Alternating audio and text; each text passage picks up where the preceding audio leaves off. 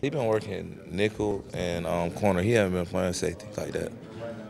What's different about you this year? What, what kind of difference could, will we be able to pick out as a player? Um, I can be more of a quarterback. That's what Coach uh, Muschamp was telling me. He want me to help um, the younger guys and then the other veteran guys from the back end, just making more calls on defense. You know, being able to call stuff out. You know, just being a quarterback at safety because I know a lot of defense from last year.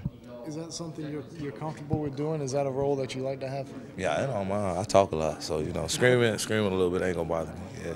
Oh, that's why we like to request you. Yeah, yeah, you know, I got y'all. How much do you and TJ interact with that kind of stuff? Just him being the middle linebacker and making calls. Um, I feel like I be on Skai side more of the time. When I come down into the boundary, I, I feel like I'm lined up with Skai. So if I'm talking, it's really the Skai, or if I'm talking, it's really to a corner. So I feel like I'll make my call and he'll make his read or whatever he got to do, pretty much based off of what he got to see in there. If he hears something, I tell him. So I feel like everybody work together. It's just kind of like a team, collective thing. But for the most part, it's kind of loud. So ain't us really talking. It's kind of us signaling, uh, signals and stuff. So.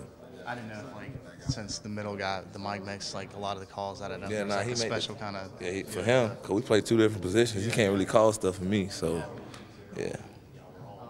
Do you recall about those first spring practices last year under Coach Muschamp? How different is it this year?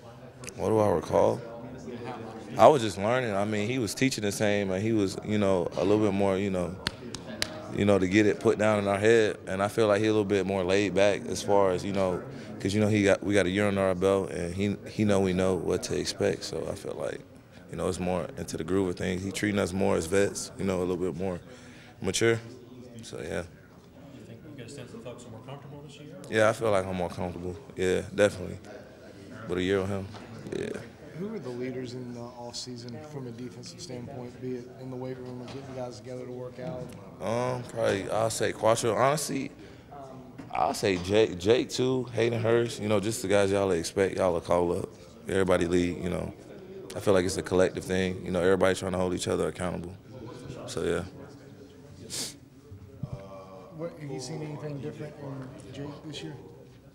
More On- on the confidence. Yeah, I say more confidence. You know, he getting a little bit more settled back there. You know, comfortable. So other than that, Have you picked him off yet? have I picked Jake off yet? Not in 11 on 11, I don't think, but probably maybe one on ones. I don't. I don't really know. He good with the ball. So.